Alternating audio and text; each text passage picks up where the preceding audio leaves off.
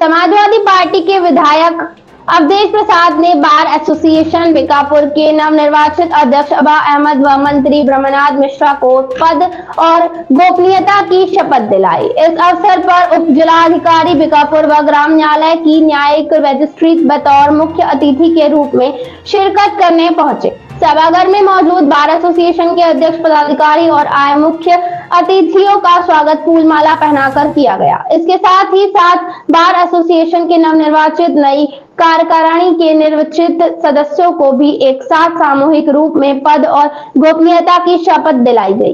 सभागार में मौजूद अधिवक्ताओं को संबोधित करते हुए बतौर मुख्य अतिथि के रूप में शिरकत करने पहुँचे विधायक अवधेश प्रसाद ने कहा, वादकारियों का हित सर्वोपरि होता है। तथा अधिवक्ता और बाज बेंच के बीच एक सामंजस्य भी बना रहे, जिससे हड़ताल कम हो और वादकारियों को त्वरित न्याय मिल सके।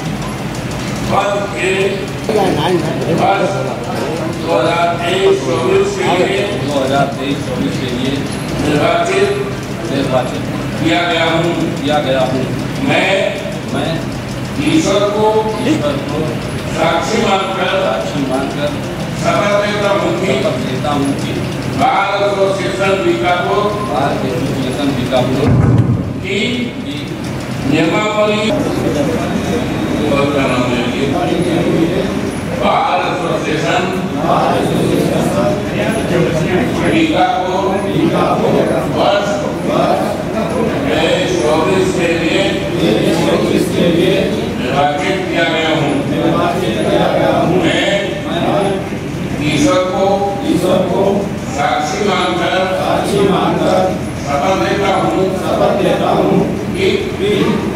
कि भारत एसोसिएशन बीकापुर भारत एसोसिएशन बीकापुर की की नियमावली के अनुसार नियमावली के अनुसार निष्ठापूर्वक निष्ठापूर्वक कार्य करूँगा। कार्य करूँगा।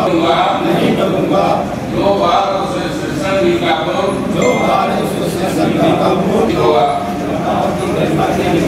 मैं बीकापुर बीकापुर की नियमावली के प्रति आप अपने अपने अठारह लोगों ने बीकापुर बार एसोसिएशन की शपथ ली है। मैं अध्यक्ष हूँ और सत्रह लोग। उपाध्यक्ष मंत्री ज्वाइंट सेक्रेटरी कोषाध्यक्ष कार्यकारिणी वरिष्ठ कार्यकारिणी सभी लोगों को मिला करके अठारह लोग।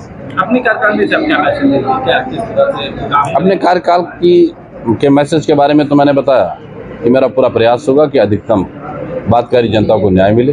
और प्रयास करूँगा कि ज़्यादा से ज़्यादा कार्य दिवस विशेष परिस्थितियों में या कोई कैजुअलिटी होने पर हमारा प्रस्ताव जाएगा तो मैं अदालतों से भी अपेक्षा करूँगा कि हमारे प्रस्ताव का अक्षरशा पालन करें, ताकि बार और बेंच का सामंजस्य बना रहे।